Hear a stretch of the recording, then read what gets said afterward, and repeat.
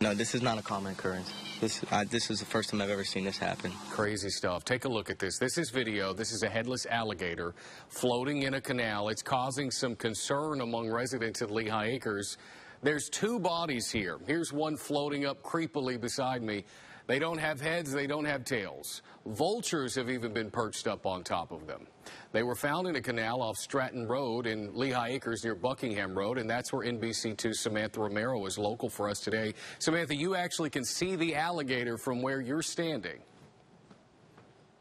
Yeah, this alligator body that we saw right here just off of Stratton Road in Lehigh Acres has been covered in flies. We even saw some vultures around it earlier, and residents we talked to who live nearby say this isn't the first headless alligator they've seen in the canal here. Two gators belly up. Peter Powley and his girlfriend Sadie were off-roading next to a canal Saturday morning when they said they saw this. We were riding, we were riding down the trail. I was with my girlfriend, and uh, we, we saw the gator, so I stopped and took a picture. And then I saw you guys, so I was like, hey, there's a gator over there. Take a look. You can see two gator bodies in the canal without their heads or their tails, and even vultures laying on them. I think someone cut the head off and just threw it in there, because people are nasty like that. That's nasty. I don't know why someone would do that. That's that's terrible. The Florida Fish and Wildlife Conservation Commission says it's keeping an eye out for this. If you do see something like this in the future, you can contact FWC's Wildlife Alert Hotline. I'm in Lehigh Acres, Samantha Romero, NBC2.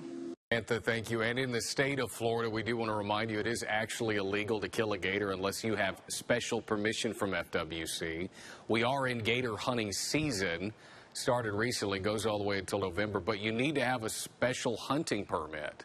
You can only also hunt in waters specifically granted for that purpose. This would not fit that purpose, according to FWC. Here are the FWC guidelines, though, for disposing of an alligator carcass, though. The FWC says double bag the carcass with commercial grade trash bags. You can make it available for trash pickup or you can take it to a landfill or trash disposal site. You can also bury the carcass on private property, but don't dispose of it in a ditch, leave it in the water, or anywhere there might be someone in the public that could see it immediately. After the killing, you also have to add a tag within six inches of the tip of the tail. But as we just reported there, neither of those gators floating in that canal had a tail.